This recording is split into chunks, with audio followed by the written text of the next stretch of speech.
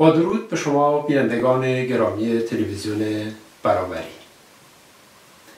با تصرف شهر استراتژیک موسل در شمال عراق در سال 2014 و اعلام دولت اسلامی داعش مرحله تازه ای از توحش و سواییت بیسابقه اجتماعی و سیاسی در منطقه عراق و سوریه آغاز گشت که ابعاد و طبعات آن البته محدود به این منطقه باقی نماند. اکنون پس از گذشت دو سال و آغاز عملیات بازپسگیری موسل آیا تحولی در اوضاع سیاسی اجتماعی که موجب خروج داعش و تصرف بلا منازع شهر موسل شد ایجاد شده است. این سال و برخی سوالات کلیدی دیگر را در گفتگویی با دکتر اسعد رشیدی کارشناس مسائل بین الملل به بحث خواهیم گذاشت دکتر اسد عزیز خیلی خوش آمدید. درود به شما و سپاس از اینکه در این گفتگو مشارکت دارید.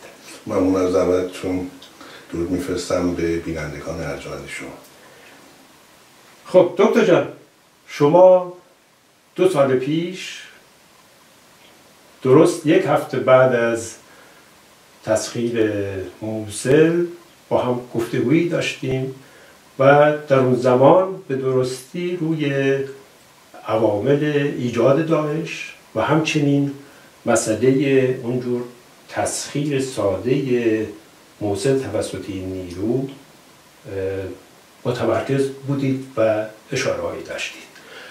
تصور می‌کنم که ما به جای پرداختن به جزئیات این عملیات بازپسگیری بیشتر روی عوامل و زمینه هایی که موجب این حرکت چه در اون زمان و تفاوتش با این زمان روی این متمرکز بشیم اگر شما موافق باشید.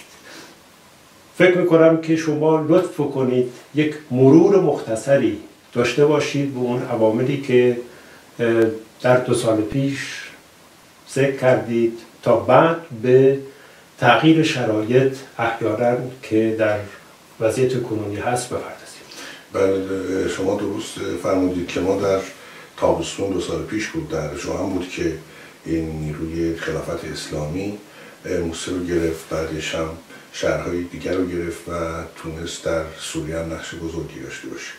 اون عواملی که اونجا به برآمد داعش کمک کرد زمینش رو فراهم کرد اول نارضایتی بسیاری از سنی ها بود که به دلیل سیاست های دولت وقت اون زمان که آقای مالکی اون رهبری می‌کرد پیش اومده بودی که از دلیلش این بود.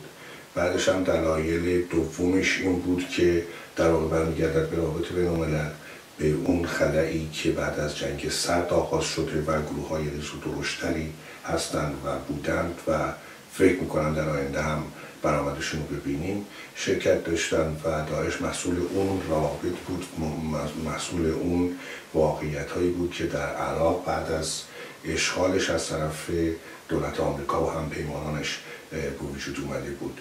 بعدش هم که اونجا توضیح دادیم که در واقع نیروهایی که از ساختار نظامی دولت عراق رانده شده بودن به صورت جام گسیخته رانده شده بودن اونها هم, اونها هم تونستن از این نارضایتی ها استفاده بکنن و بنیه نظامی و تخصصی و تکنولوژی و فنی در واقع این نیروی برآمده تازه رو تشکیل بدن که منجر شد به گرفتن موسل و دیگری شهرها که می‌دونیم در با چل هزار نفر نیروی نظامی شهر رو تحویل دادن و بعدش هم اون همه ادوات جنگی که خریدی بودن از آمریکا و مدرن بود به دست داعش افتاد.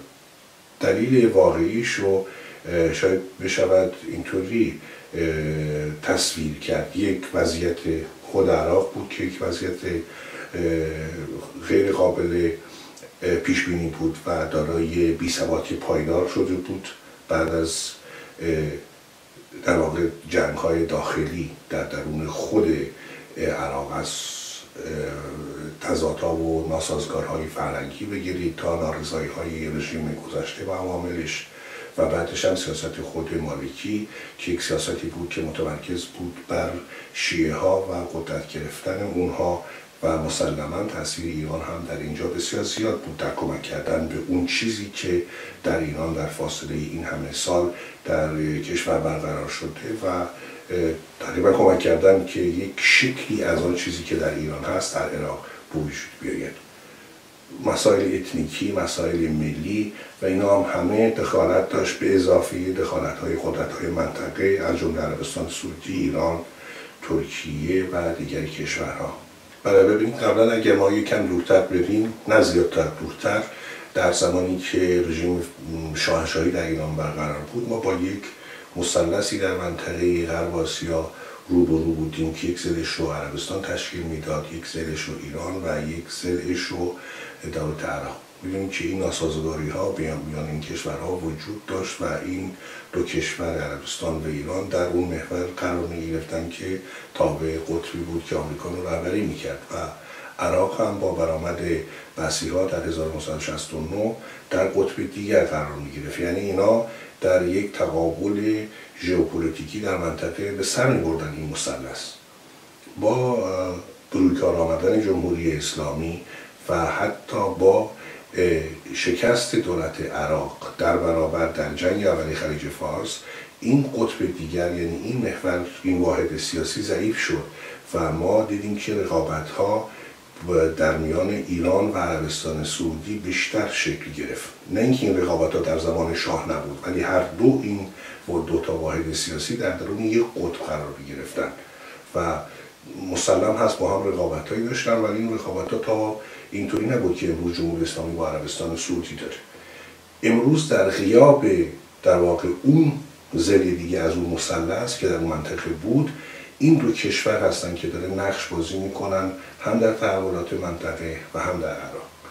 مسئله ترکیه به گونه دیگری است. ترکیه زمانی که در همون زنجیره کمربند امنیتی به شوروی قرار داشت و عضو پیمان ناتو هست. بعد از در واقع بهار عربی دولت ترکیه این احساس رو کرد که می‌تونه نمونه تازه از نوعی از اسلام رو اشاعه بده و بتونه در, در واقع به رهبر و لیدر این کشورها در بیاد. مثل مثلا حتی لیبی چون دارای نزدیکی های هستن حزب عدالت و توسعه با اخوان مسلمین. بنابراین این کشورها امروز هر سه چه عراق چه به ایران چه عربستان سعودی و چه ترکیه در به دنبال منافع خودشون هستن. منافعی که در یک جا متمرکز شده در یک جا متجسم هست که ما می‌بینیم و اون هم عراق هست. در کشورهای دیگر هم به همین شکل. مثلا در یمن ایران دخالت می‌کنه در لیبی در لبنان هست که و در سوریه هست که مسئله بسیار پررنجتره. ولی اون چیزی که ترکیه ما شاید بعدا بهش اشاره بکنیم با یک توسعه طلبی از طرف ترکیه رو هستیم. چون عراق در واقع یکی از کشورهایی است که بعد از سقوط امپراتوری عثمانی روی صحنه سیاست و نقش جهانی پیدا شد که برمیگردد به قرارداد لوزان در 1923 ولی ترکیه همیشه یک چشم طمع داشته به موسل که یک که از لحاظ منابع طبیعی و حتی منابع انسانی دارای اهمیتی ویژه هست از لحاظ ژئواستراتژیک هم برای ایران و هم برای ترکیه. پس نقش ترکیه در اینجا یک نقشی است که یک برمیگردد به اون دوران در واقع عثمانی که در نظرات و تفکرات آقای اردوغان و دیگر هم نمی‌کنه الان. بله هم فکرانش هست یعنی بازگشت به نوعی از اخلاقیات و رویکردهای پس در واقع پیش مدرنیزم که برگرده به یک دولت بزرگ عثمانی بسازه که بتونه اون در واقع به اون تصرفاتی که حالا دیگه در واقع دلیل خارجی در وجود خارجی هم نداره برگرده و این در رویاهاش هست. مثلا در اون جایی که می‌خواد نقش ریاستی رو در واقع به رئیس جمهور بده و پارلمان بسیار ضعیف بکنه و در 2017 هم قرار هست که دوباره یک همه پرسی بشه که رئیس جمهور بشه نفر اول و مسئله نخست وزیری رو حذف بکنه. در واقع این تقابل ها که ما می‌بینیم تقابل های ژئوپلیتیکی است برای چیره شدن بر منطقه و برآمدن یک کشور قدرتمند منطقه چه جمهوری اسلامی چه عربستان سعودی و چه ترکیه و شاید کشورهای دیگه هم باشن اگر ما فکر بکنیم ولی من فکر نمی کنم که عراق تا مدت ها بتونه اون نقشی رو که در زمان صدام حسین داشت دوباره باز پیدا بکنه و دوباره در اون مثلث قرار بگیره که مثلثی بود که این کشورها درش با هم دیگه در تقابل بودن. خب حالا شما فکر می‌کنید که با توجه به برشمردن این عوامل که در شکلی داعش تاثیر تعیین کننده داشت با حمایت های غیر مستقیم ترکیه که مجال مستقیم برای داعش ایجاد کرد. الان در وضعیت کنونی که بازپسگیری موسل در دستور کاره چه تغییری در اوضاع ایجاد شده که به این شکل تا حدودی قاطعانه چه از جانب نیروهای بینالمللی در اونجا به ویژه آمریکا و چه از جانب نیروی داخلی یعنی دولت عراق و اقلیم کردستان پروسه نابودسازی داعش در دستور کار قرار گرفته؟ اونجوری که برمیاد دولت اقلیم کردستان با دولت علیبادی به توافق رسیدن که پیشمرگاه کردستان در بازپسگیری در موسیقی شرکت بکنن به صرف به صرف اینکه بعد از بازپسگیری موسل عادی بکنن اون وضعیتی که در کشور قرار داره. از این از آن جمله به دولت اقلیم کردستان این امکان رو بدن که وارد مذاکرات بیشتر با دولت بشه و اون ماده 140 که حالا بخشیش که حل شده است نسبت به اون جنگی که صورت گرفت و بوکرکوکو پیشمرگا در دست گرفتن شنگال آزاد کردن اون پروسه دوباره راه بیفته یعنی اینکه دولت عراق به شکل یک واحد سیاسی مستقل باقی بمونه. با همون شکل فدرالی که در قانون اساسیش نوشته شده و کردها بتونن از طریق همه پرسی اون مناطقی را که با دولت مرکزی در موردش اختلاف دارن اون بشه حل بکنن. از سوی دیگه می‌دونیم که مقدار نزدیک به 450 هزار میلیون دلار هم دولت آمریکا به اقلیم کردستان کمک کرده. چون وضعیت اقتصادی بسیار بسیار بد هست و حضور یک میلیون شاید بیشتر از یک میلیون پناهنده که در اقلیم کردستان زندگی می‌کنن. با توجه به اینکه خود اقلیم کردستان 5 میلیون نفر جمعیت داره اینا با مشکل رو بودن با در واقع حقوق دادن به پیشمرگه های کرد.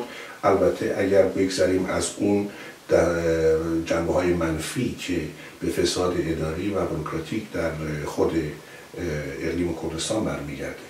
از سوی دیگه اون تصوری رو که دارن بعد از اینکه بتونن داعش رو شکست بدن و از اونجا برانن این هست که به به سنی ها که در منطقه هستن اختیارات بیشتری بدن و پایه اجتماعی دولت خلافت اسلامی داعش رو از اون راه ضعیف بکنن و خب. مانع از این بشن که اینها خب همینجا در رابطه با سنی ها با توجه به این که مجلس عراق اساسا سنی ها رو حذف کرد و بعد تشکیل این نیروهای مسلح شیعی عشق و شعبی و غیره خب این چشمانداز رو شما چطور می‌بینید چه زمینه ای الان وجود داره که بعد از گرفتن موسل بشه گفت که این تداوم این موضوعی که شما مطرح کردید حل اختلاف با سنی ها و دادن اختیارات بیشتری به اونها و به رسمیت شناختن حقوق این بخش از مردم عراق. بله این اون تصوری است که دولت مرکزی بعد از پسا داعش داره در ذهنش. اون چیزی که در ما در مطبوعات می‌بینیم و در بیانات آقای عبادی هم هست. این اون تصور او هست. اما تا چه اندازه بتواند مردم بتوانند باور بکنند به اون وعده هایی که داده می شود بعد از راندن داعش این مشکل ساز هست. چرا؟ به دلیل اینکه اولا هشت شعبی که با امکانات ایران با تلاش ایران و از طریق سپاه قدس ایران ساخته شده اینا نمی‌تونن وارد موسل بشن. به دلیلی که دیدیم که چگونه رفتار کردن با مخالفان سنی خودشون. یعنی یک شکل بسیار خشونت آمیز رو به کار بردن که فیلماش هم در همه جا نشون داده میشه. از طرفی دیگه کردها هم نمی‌تونن وارد موسل بشن بلکه در پنج کیلومتری موسل باید بمونن. همونطور طبق اون توافق. اما چه پیش خواهد آمد در آینده به نظر می رسد اول اینکه برای ایران بسیار با اهمیت است مسئله موسل چرا ایران می‌توند از راه موسل نزدیک بشود به سوریه نزدیک بشود به مدیترانه و نزدیک بشود به لبنان به یک راه زمینی برای ایران است. به این خاطر است ایران روی این مسئله بسیار با اهمیت انگوش می‌گذارد. یعنی نزدیک شدن به سوریه که ایران اونو به عنوان متحد خارجی خودش می‌دونه. سیاستی که ترکیه دارد. این است که باید او هم را در این مواردی که به سرنگونی داعش می انجامد هم شرکت داده بشه. چرا؟ به دلیل اینکه یک نفوذ ایران رو کم بکنه و دو بتونه در واقع پیککه هم مهار بکنه. نه تنها پیکاکا این, این موضعی در مورد بله. عراق اینطوریه اونو چی بکنه؟ و آقای اردوغان هم در همین روزها میگه که ما دیگه اجازه نمیدیم که شنگال همون قسمتی بود که ایزدی ها با اون فاجعه روبرو بشن بار دیگه به قندیل همون کوستان هایی است که نیروهای نظامی پککر در اونجا هستن تبدیل بشه. یعنی اینجا ما یک تقابل می‌بینیم بین ایران و ترکیه به عنوان دو بازیگر قدرتمند در منطقه. و هر کدوم از اینا خواهان این هستند که سهمی رو داشته باشن از بعد از داعشی که از موسی رانده بشه. برمیگرده به سیاست قدرت های بزرگ. یعنی سیاست آمریکا چیست؟ آمریکا تا به امروز موافق یک دولت متشکل متحد عراق است.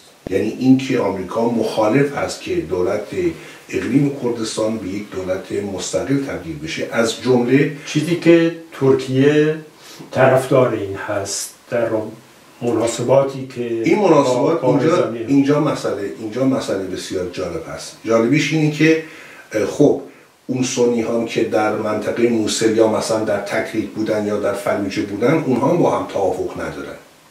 ولی اونها خواهان این هستن که همون امتیازاتی رو که امروز اقلیم کردستان داره و فراتر به نظر من از یک دولت فدرالی اگر شما مقایسش بکنید مثلا با دولت فدرالی در تایوان یعنی یک دولت دفاکتو اختیاراتش بسی بیشتر هست. اونا می‌خوان که یک شکلی از بمانند اقلیم کردستان داشته باشن. نه اینکه شیعه ها بتونن تمام قدرت دولتی بر تمام نهادهای قدرت در کشور دست پیدا بکنن و اونها رو برانن از قدرت. امروز بسیار دشوار هست به وعده هایی که آقای علیوادی داده.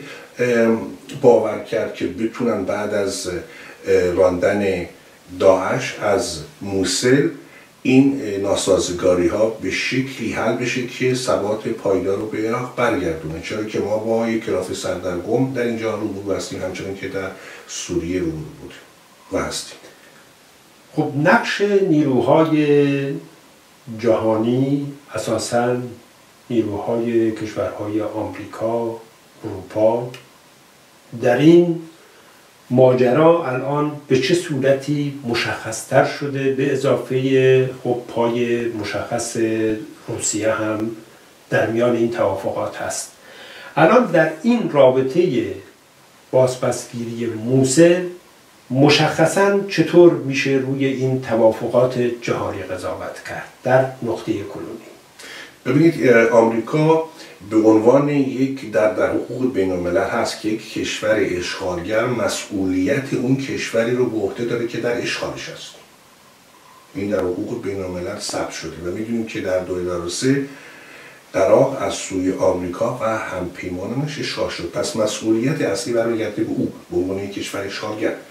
اگرچه در 2007 آقای اوباما نیروهاش رو بسیاری از نیروهای آمریکایی از اونجا بیرون برد و یک فضای دیگری هم باز شد که در غیاب اون نیرویی که می‌تونست کنترل بکنه و تاثیر مستقیمی داشت بر مسائل در اونجا اون تاثیرش رو از دست داد. امروز با امروز آمریکا با همپیمانی با کشور عراق. امروز با بمباران کردن مواضع داعش در موسل. با تقویت نیروهای نظامی عراق خواهان یک کشوری هست که بتونه تاثیر ایران رو از یک طرف کم بکنه و از طرف دیگه مانع فروپاشی اون چیزی که ما امروز به عنوان یک واحد سیاسی در عراق هست را موجب بشه. یعنی می‌دونیم که اگر برگردیم به اون تبلیغاتی که شده برگردیم به خواستار اقلیم کردستان در واقع 80 و چند 85 6 درصد مردم خواهان یک کشور مستقل هستند و اینو نشون دادن تو همون پرسی ها و تو سخنهاشون اینجاست که مسئله دیگه پیش میاد. خب اگر دولت اقلیم کردستان بتواند یک کشور مستقل تشکیل بدهد با سنی ها چه باید کرد؟ آیا سنی ها هم در پی همین هستند که یک شکل فدرالی وسیعتر یا یک شکل کنفدرالی یا یک شکل دولت مستقل پیدا بشود؟ اینجا به نظر نمی رسد که امریکا در لحظه فعلی و اتحادیه اروپا و حتی روسیه موافق این باشند که دولت کردستان به اون شکلی که اونها می‌خوان یک دولت مستقل تشکیل بشه بلکه خواهان این هستن که این نیروها با هم دیگه به توافق برسن تا بلکه اونا بتونن نه با یک با سه تا کشور که بگیم اگر قرار باشه تشکیل بشه مثلا کشور از کشوری که سنی ها اون رو رهبری بکنن یا کشوری که شیعه ها و کرد ها بتونه اون رو کنترل بکنه. دولت روسیه بیشتر نقشش در سوریه قابل دیدن هست و تأثیر گذار است تا اینکه در عراق. چون این روسیه هست که به شکل نظامی در سال گذشته در, در سوریه دخالت کرد و می‌دونیم که از 1971 هم یک پایگاه نظامی داره در در استان لازخیه در بندر ترتوس و امروز هم نیروهای بیشتری به اونجا برده و اون موشک ها یا اون یا اون دستگاهی که در واقع نظامی اس 300 رو که قرار به ایران بده اون رو اونجا گذاشته و دخالت مستقیم داره و یکی از بازیگران اصلی هست در مسئله سوریه. ولی بیشتر روسیه در سوریه نفوذش زیادتر هستن که در عراق. چون از طریق ایران می‌تونه چون ایران به عنوان متحدش رو متحد خودش برگزیده و خلاف برخلاف اینکه و فارغ از اینکه ایران همیشه گفته که روسیه متحد استراتژیک ماست ولی روسیه ایران رو به عنوان یک شریک می‌شناسه نه از اون بالاتر. بله. با توجه به این توافقات این الان که در رابطه با موسل به نظر میاد که داعش از این شهر بیرون رانده خواهد شد و به عنوان یک موزه استراتژیکی که اساسا دولت اسلامی از همونجا آغاز شد. شما فکر می‌کنید که این آغاز فروپاشی داعش باشه؟ مشکل می‌توان گفت که اولا تسخیر موسل خیلی آسان نیست. اون چیزی که گفته میشه بعد از یک ماه دو ماه.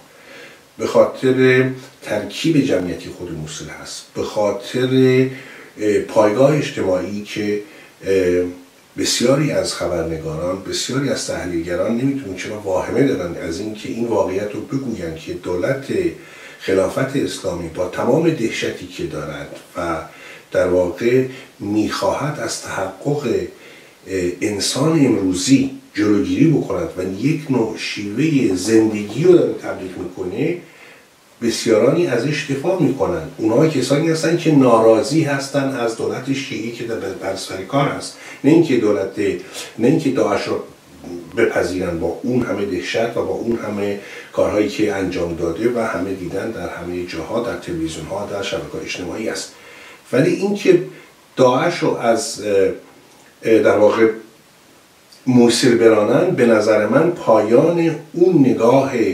بنیادگرایی اسلامی نیست.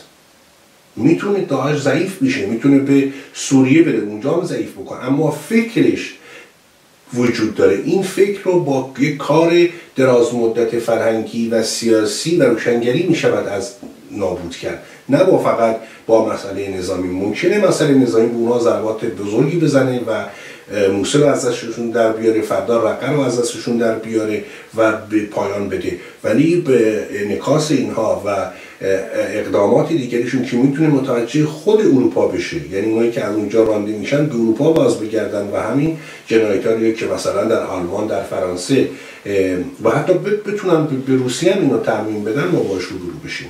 بنابراین برای ریشه کردن پدیده های مثل داعش به کار فرهنگی به کار سیاسی و به یک پلورالیزم سیاسی در این کشورها ما احتیاج داریم. نه اینکه یک گروه یک فرقه بتونه به شیوه مستبدانه همه نهادهای قدرت رو در دست داشته باشه.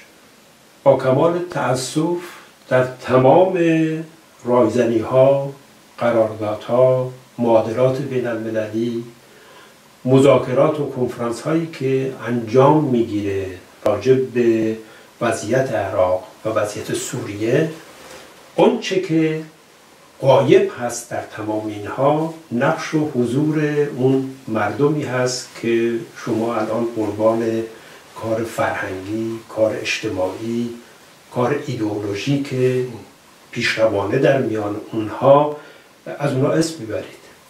شما این پدیده تازه در فقدان حضور مردمی که درگیر جنگ و شقاوت بمبندازی ها هستند و امکان و مجال تشکیل اجتماعات شهروندی سندیکاها کارها. الان تمام این آثار تمدن انسانی گمه در زیر بمبهایی که توی این منطقه ریخته میشه.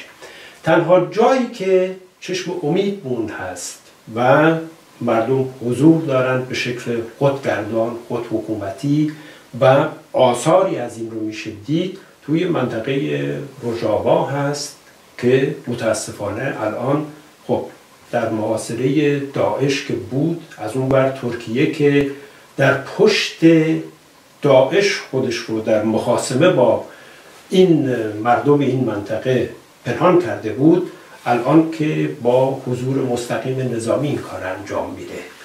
شما چه امکانی برای این شکل از نقش مردمی می‌بینید در اون منطقه؟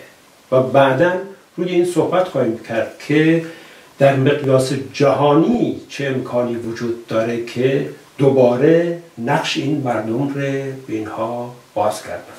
بله ببینید این از یک مسئله رو من فکر می‌کنم باش بهش اشاره بکنیم. از کردم که اون بستر فرهنگی غایب بوده در این منطقه. مثلا در عراق به دلیل سالهای طولانی استبداد به دلیل نداشتن در واقع یک برنامه یک پروژه دراز مدت برای شکوفا کردن و توسعه کردن این کشورها.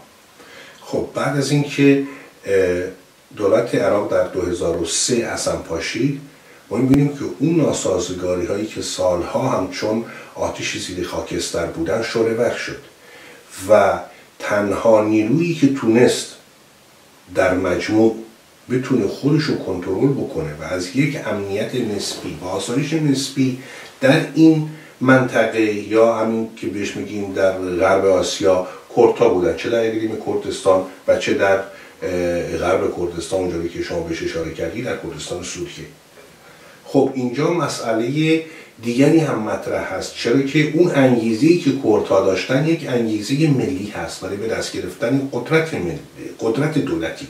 برای درست کردن یک کیان ملی برای خودشون. در صورتی که در کشورهای دیگر عربی از اون فاز گذشته بودن.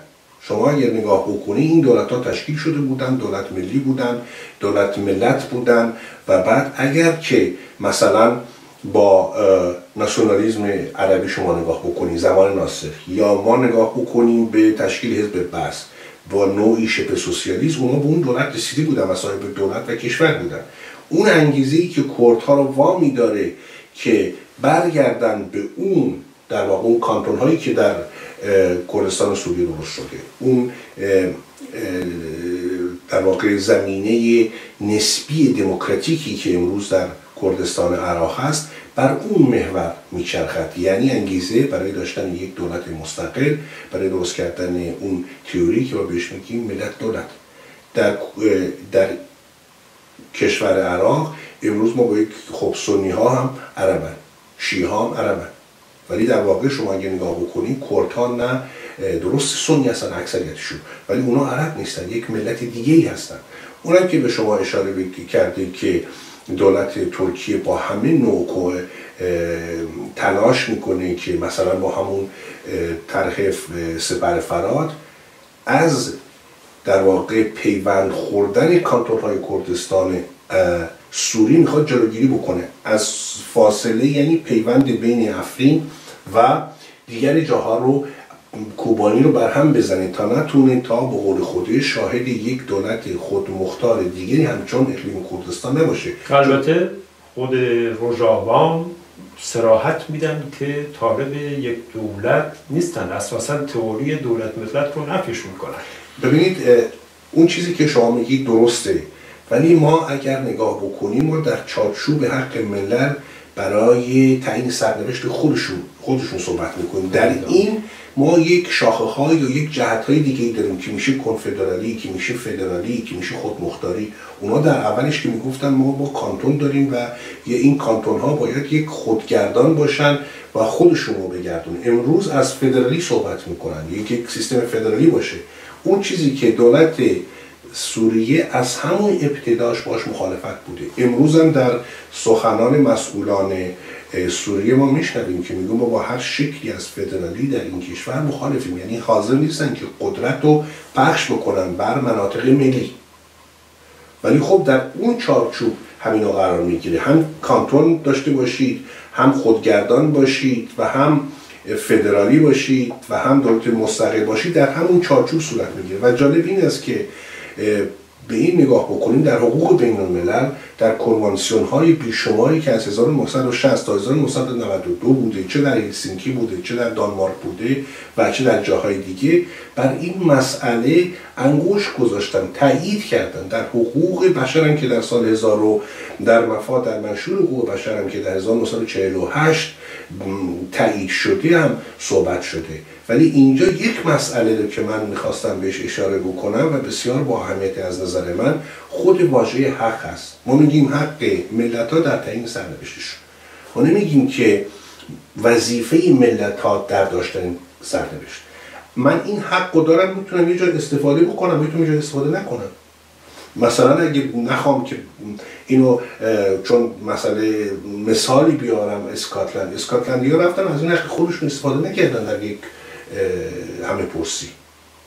گفتن نه ما می‌خوایم با بریتانیا باقی بمونیم. یعنی این حق بعد از ماجرای اروپا و خروج انگلیس دوباره دوباره بحث بله ولی به صورت حق هست این. اگه شما بگید برای خودتون تعریف بکنید که این یک وظیفه است و باید این انجام بدید. من وظیفه انسانیم هست که مثلا یک نیروی دهشت آفرین مثل داعش رو برابرش بیستم این دوتا رو ما باید به هم دیگه خلط نکنیم. چون این حقی هست ممکنه کسی از حقش استفاده بکنه ممکن استفاده نکنه. بستگی داره به چه فضا و چه شرایطی است مثلا برای ایران شما نگاه بکنید. هر چه فشار جمهوری اسلامی بر واحدهای ملی در کشور زیادتر بشه گرایش گریز از مرکز هم به همون اندازه زیادتر میشه. یعنی یک بلوچ یک کرد یک آذربایجانی یا جای دیگه. اصلا برای خودشون اینو نمی‌بینن که چه دلیلی داره که من از یک کشوری که اسمش ایرانه دفاع بکنم که تمام حقوق ملی من زیر پا گذاشته. ولی اگه یک کشوری باشه دموکراتیک باشه و حقوق مردم بده و دور از تبعیضات باشه خب یارو ترجیح میده همون کشور باقی بمونه. و برای خودش دردسر درست نکنه. در روژاوان به همین شکل بود. اول می‌گفتن که ما یک کانتین که در واقع وظایف فرهنگی رو به داشته باشیم وظایف اداری امروز میگن ما با شکل فدرالیش موافقیم. چون نگاه می‌کنن می‌بینن که اگه این شکل فدرالی نداشته باشن هیچ تضمینی نیست که دولت بشار اصلا اگر موفق بشه که در چشمانداز بسیار بسیار بعید هست اونا بتونن در وقت اون دوباره به قدرت برسه و همون موادی رو اجرا بکنه که در زمان حافظ اسد بود. یعنی کردها رو حتی از هویت ملی هم بری بداند. یعنی اصلا پاسپورت هم بهشون نده. زمانی بود که اصلا نمی‌تونستن یه منطقه رو برای خودشون بخرن. یک ساختمون برای خودشون بخرن. یه خونه برای خودشون بخرن. یعنی اون احساس خطر در اونجا هست در روژاوا هست. و می‌بینیم که تمام فشاری که دولت ترکیه داره به خاطر این هست که اون پیوندها رو در درون روژاوا بگوسنه از هم دیگه. و اجازه بهشون نده که یک دولت یا یک ساختار اداری و فرهنگی داشته باشن که بتونه به وظایفشون یا بتونه به زندگیشون کمک بکنه. شما دیدید در اونجا ملت های دیگر هم زندگی می‌کنن. ترکمان هم زندگی می‌کنن آشوری هم زندگی می‌کنن عرب هم زندگی می‌کنن. یک شکل تازه تری ساختن. با همون نبرد بسیار حماسی که در کوبانی ما خب حالا میشه دید که با دخالت قدرت های جهانی در این منطقه آتش جنگ هیچ سر فرو نشستن نداره. برای اینکه از این دور تسلسل جنگ و خشونت توی این منطقه بشه بیرون آمد. یک زمانی در جنگ ویتنام به خاطر دخالت مستقیم آمریکا یک جنبش صلح وسیع در دنیا و اروپا و آمریکا شکل گرفت و در واقع به تسلیم کشاند خود آمریکا رو و عقب نشینی کشاند. الان شما چه شانسی برای یک همچین جنبشی می‌بینید؟ به خاطر چه؟ به خاطر اینکه الان مسئله فروش تسلیحات و دخالت مستقیم مستقیم قدرت ها که تبدیل به یک جنگ غیر مستقیم جهانی توی این منطقه شده. شما چه شانسی برای این می‌بینید که از این دور تسلسل با یک جنبش صلحخواهی ضد تسلیحات ضد دخالت خارجی در اقلیم ها و مناطق بخصوص منطقه همین سوریه و عراق بشه عرصه جدیدی رو برای حضور مردمی که همچنان قایب حضورشون بر صحبت کردیم برای تقویت این حضور که به نظر من تنها راه این منطقه هست همونجور که شانس منطقه روژاوا این رو نشان میده.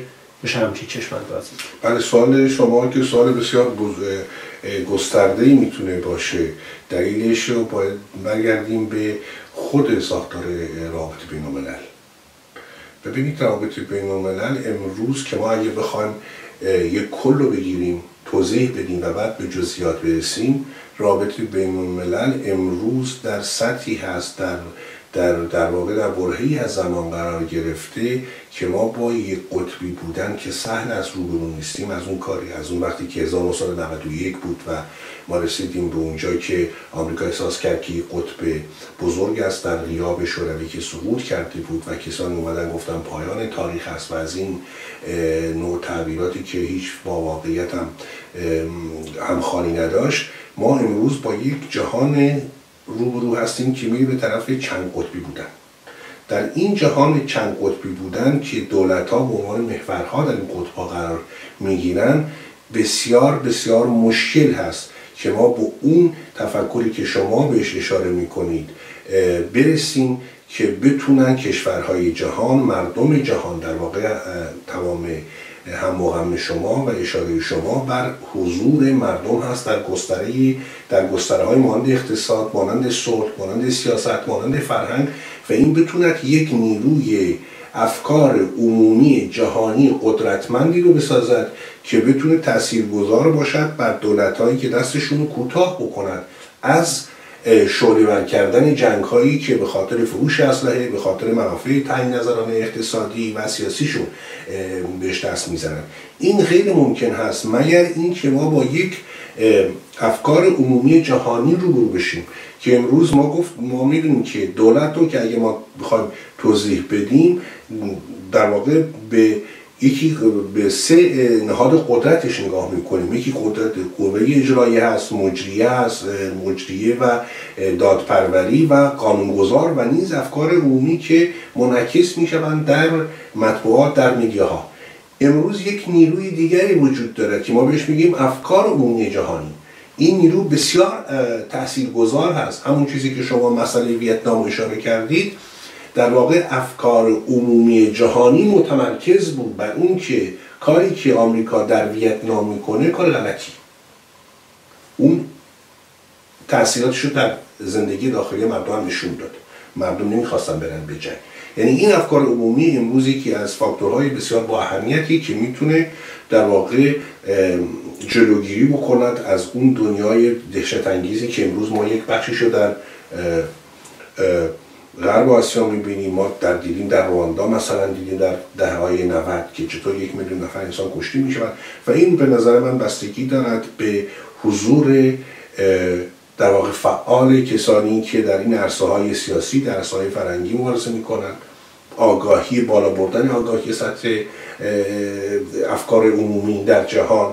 و بعد ساختن اهرم هایی که بتواند گذار باشد که این مناسبات جهانی تغییر پیدا بکنن اون چیزی که امروز یکی از اون پیشنهاداتی که به طور مشخص امروز می شود این است که ما بیایم رابطه بین الملل را از اون چند قطبی و یک قطبی بودن خودش بیرون بیاریم یعنی چه؟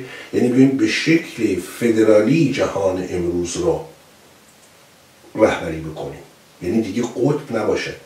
یعنی جهان دیگه اینطوری نباشد که شما در شورای امنیت شورای امنیت سازمان ملل شورای دائم سازمان امنیت پنج کشور داشته باشید که نتو که وتو می‌کنن. هر کسی هر چی دلشون خواست وتو بکنن.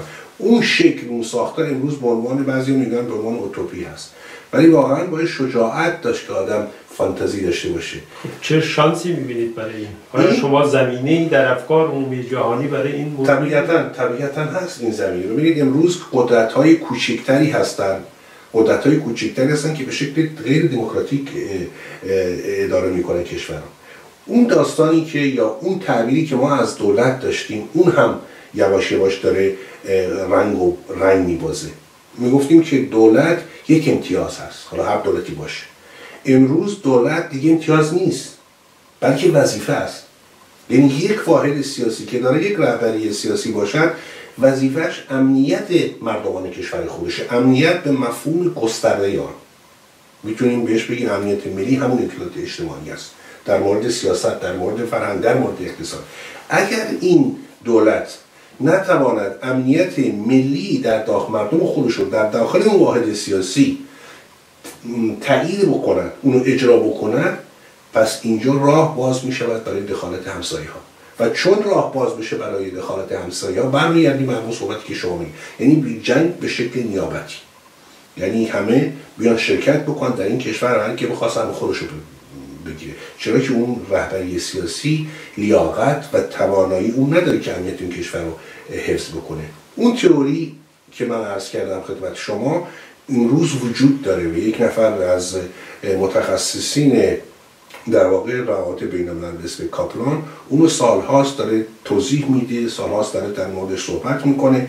ولی خب این تنها بستگی به وجود یک تیوری نداره. این تیوری شما وقتی که ما می‌بینیم تیوری هن هنوز که به عمل در نیامده اون نا...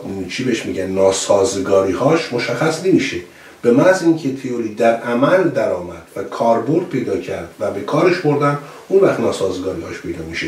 ولی به هر صورت این تیوری وجود داره. این یا چی بهش بگن؟ شاید هم بشه بهش بگم فانتزی بهش بگن بهش بگم توپی و هر چی باشه وجود داره. این یکی از اون راهاست که می‌تونه به اون سوال بسیار کلی و جذاب شما پاسخ بده تا اونجا که من در توانم هست و در تخصص من هست می‌تونم بهش و البته باز یک طوری دیگه هم در حال شکگیری به معنای چنان فعال شدن افکار عمومی و قشهای مختلف مردم در گرفتن سرنوشت خودشون که دولت که الان با فعال ماگشان شدنشون منشأ تمام این اختلافات جهانی و درگیری ها و تنش شدن اساسا از درون بی وظیفه بکنه.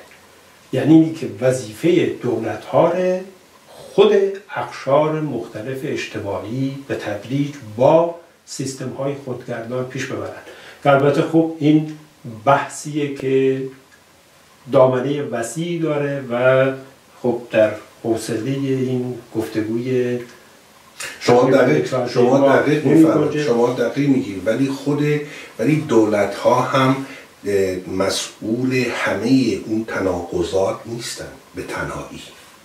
روشنه. ملت ها هم با اون سطح فرهنگی با اون سطح توسعی که دارن در این کار شریک هستند. در میزان دخالت و حمایتشون از بله. دولت هایی که بله، من عرض کردم عرض در کردم که دولت. اگه بشه امتیاز بشه پس همه کار داره می‌کنه. در صورتی که دولت همه کار رو نمی‌تونه بکنه و حق نداره همه کار رو بکنه. مگر اینکه یک رژیم سیاسی سرکار باشه چون اینجا باید باز هم در دانش سیاسی این دو چیز رو اصلا جدا کرد. ما با یک رژیم سیاسی روبرو هستیم یا با یک سیستم سیاسی. اگر ما با رژیم سیاسی روبرو هستیم پس تکلیف خودمون رو می‌دونیم چیه. این رژیم سیاسی از اصلا به هیچ در واقع نرمی گردن نمی‌گذارد و مردم رو به هیچ محسوب می‌کنه. پس این یک رژیم سیاسی است. مثل همون چیزی که در جمهوری اسلامی است. همون چیزی که در عربستان است و در کشورهای دیگه. ولی اگه سیستم سیاسی وجود داره. مردم تا حد معینی می‌تونن در زندگی خودشون در سرنوشت خودشون دخالت داشته باشن. این دیگه فرق می‌کنه. شما می‌دونید سندیکا بسازید شما می‌تونید حزب خودتون رو بسازید شما می‌تونید با شرکت کردن در این تغییر بدید تاثیر بگذارید ولی در یک رژیم سیاسی همچین امکانی به شما داده نمیشه هر هم صحبت کرد و باید بره زندان یا تبعید بشه یا خدا می‌دونه سر کجا در بیاره. ولی چیزی که الان در منطقه لوفور دیگه میشه بعد منطقه ایران، ترکیه، عراق، به غیر از به غیر یک جایی که بعد از این زیر گرفته شده. بعد غیر از یک جایی که با خوشحالی میشه گفت با خوشحالی میشه و یک نمونه است که البته اونم نمونه هم خوبه. بعضی می‌گفتم با یک گل بهار در نمیاد ولی بعضی وقتا آدم دلش خوش میشه و حتی به یک گل که در درون مثلا یک جایی که همه جا ریخته شده همه جا نابود شده اون گلم در میاد به انسان در واقع این الهام رو میبخشه که همه چیز تباه شده نیست. اونم مثلا تو بهار عربی می‌بینیم تو تونس بیشتر تونست خودش رو با واقعیات جهان تطبیق بده. اگرچه اگرچه ایراد داره اگرچه یک واحد سیاسی میاد که میگه شرع اسلام میشه پایه قانون اساسی برای من اونجا باید بهش تردید کرد. اون یک لایه بسیار بسیار غم انگیزی است که در اون در تونس وجود داره. ولی در مجموع تونس رو ما دیدیم که در واقع تونست خودش رو با اون واقعیات تطبیق بده و از این جنگ و خرابی که به ویژ- به ویژه در سوریه وجود داره از 2011 تا به امروز اونا قصر در بدن. بله خب البته در تونس به قول شما آنچه که فرهنگ مردم تونس رو طی 50 سال گذشته شکل داده و پیش برده اثرات بسیار عمیقی بخصوص در جنبش زنان اون گذاشته. و این به هر حال چیز امیدوار کننده طبیعی و مسئله روژاوا و حرکتی که در اوبانی انجام گرفت و در اون منطقه و همچنان انجام می‌گیره. و الان انعکاس و ابعاد جهانی که پیدا کرده به لحاظ همبستگی این از نقاط روشنیه که توی اون منطقه ما می‌تونه پایه امیدهایی باشه. ما در برنامه دیگه امیدواریم که بتونیم روی این موارد امیدبخش صحبت بیشتری داشته باشیم. خیلی ممنونم از شما مجددا دکتر اسد رشیدی عزیز که در این گفتگو شرکت کردید و امیدواریم که در نشست های از دانش شما استفاده کنیم در این سپاسگزار از شما منم امیدوارم به همین نقاط روشن بسیار امیدوارم با سپاسگزاری از شما بینندگان گرامی و صبر و حوصله شما از شنیدن و دیدن این برنامه.